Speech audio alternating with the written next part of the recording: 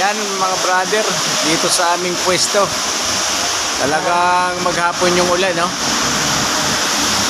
Oh, kahit saan lugar naman siguro ngayon talagang ano kasi may ano nga bagyo siguro. Grabe oh. Tingnan mo naman yung Tingnan mo naman yung ano ating mga katrupa diyan sa ano. Talagang basang-basa na habang nagkakarga. Oh. Oh, di ba? Grabe lakas eh. Uy! Eh, pasok dito sa atin eh.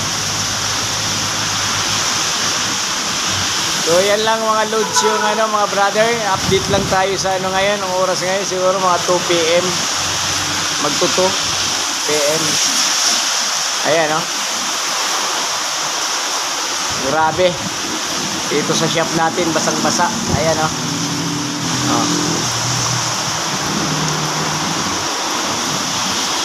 Oh. Basa na yung lifter natin mga loads. Oh. Kaya binabalot natin yung mga electrical dito para hindi ano mabasa. Hmm. Oh. Diba? Grabe. Eh, basang-basa na yung tropa natin, ha.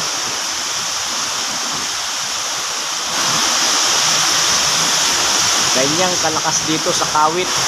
Sintinyan. Oh. Lakas, oh. Oh, lakas ng hangin, mga lods. One eternity later. So yan mga lods, Ah, medyo umina na yung ulan pero madilim pa rin yung panahon dito sa ano natin. Hindi katulad kanina nung pinakita ko, yung lakas ng ulan, grabe. Ayan ang sa shop natin, masang-masaw. Ayan. Ayan, ayan yung panahon ngayon. Mga lods, kanina sobrang lakas ng ulan. So yun yung nakikita ko sa inyo kanina, grabe. Grabe yung ano, pas patapos dito sa loob. Ngayon medyo hindi na ganun kalakas. Ayan. So madilim na naman, parang babagsak na naman yung ulan.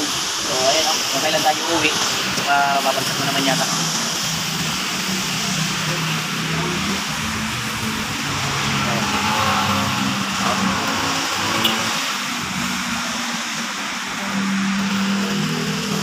Yan yung ano, ah, panahon dito sa ano, Kawit. Kawit Cavite. Yan, sa Centennial, mga loads.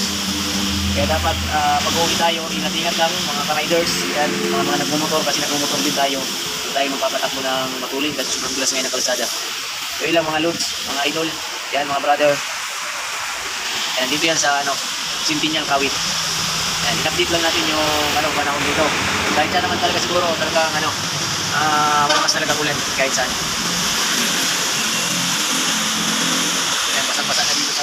Natin. Yun, mga lods, yun lang. Pinagita ko lang sa inyo yung panahon dito. Talagang makulimlim na naman. Babagsak na naman yung malakas na ulan. Ay, umulan pa rin yan, mga lods. Okay?